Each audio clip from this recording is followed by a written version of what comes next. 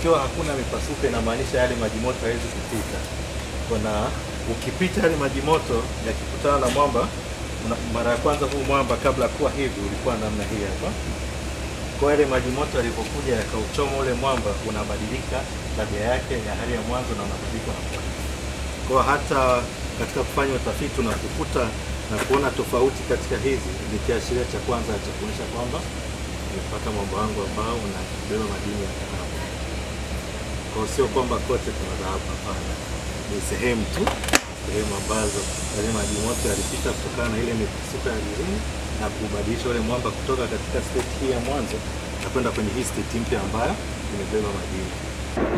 Polishing tunaitegemea kwamba prosesi yake ni kwamba itoe dhahabu kwenye vile vipunje vidogo vya vya niite kama udongo kama kimchanga kile kidogo. Ile cyanide inaingia mle ndani inatoa ile dhahabu inaileta kwenye solution form, inaileta kwenye, kwenye mfumo wa majimaji, lakini ni vipatiko vidogo ambavyo hata kuviona ni ngumu. Kwa sasa vikisha chenjuliwa hivyo, ili kupata hivyo vipatiko vidogo, kuna kitu tunaweka kinaitwa carbon. Ni kama vifuu vya nazi vimechomwa, lakini vina vimatundu vidogo vidogo, navyo ni vidogo. Kwa tunaviweka ili vishike ile dhahabu sasa.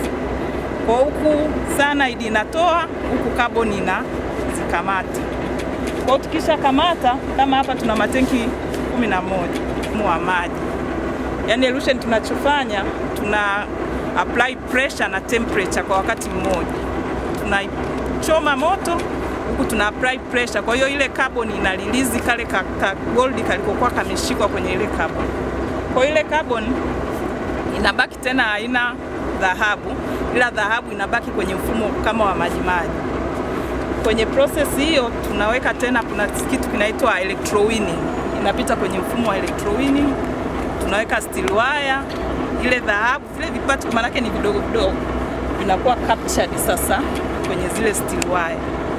Baada ya hapo, process ya mwisho kabisa ni ile steel wire tunaichukua, tunai blast, tunaieyusha kwa acid, tunapata tena kama ujiuji, tunauchuja, ndio tunaenda process ya mwisho ya kuchoma. Tukishachoma sasa, kuna chemical tena tunaongeza pale kwa ule uchafu unatolewa, tunabaki na dhahabu kama dhahabu. Mgodi unaishi vizuri na jamii inayotuzunguka na ukiangalia tuna comply na issue za local content. Ukiangalia mgodi waajiriwa wote ni wa Tanzania na vile vile wakandarasi, tuna mkandarasi FEMA ambaye pia ni asilimia mia moja ni, ni kampuni ya Kitanzania anahusika na uchimbaji, lakini pia tuna kampuni ya ISAF inayohusiana na ulipuzi, vilipuzi na ulipuaji wa miamba.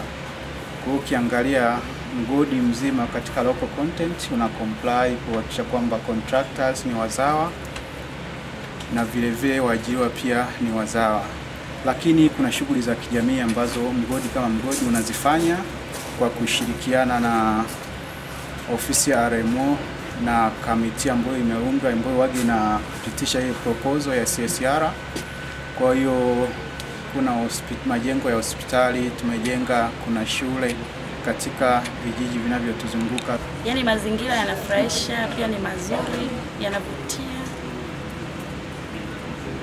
Na nimeenda sehemu mbalimbali kuangalia kama kujifunza. Tumeenda Piti, tukatoka Piti tukaenda Karasha, tumeona jinsi wanavyofanya kazi. Wanafanya kazi kwa kweli kwa ustadi, sio kama wachimbaji wadogo wadogo tunavyoenda, yaani tofauti kubwa sana. E, kama sisi wachimbaji wadogo wadogo kuna muhimu sana kuzingatia usalama katika kazi zetu. Kwanza tuwe na vitendea kazi vilivyo salama, vifaa kama gambuti, element, gloves na vinginevyo vinavyohitajika katika kazi.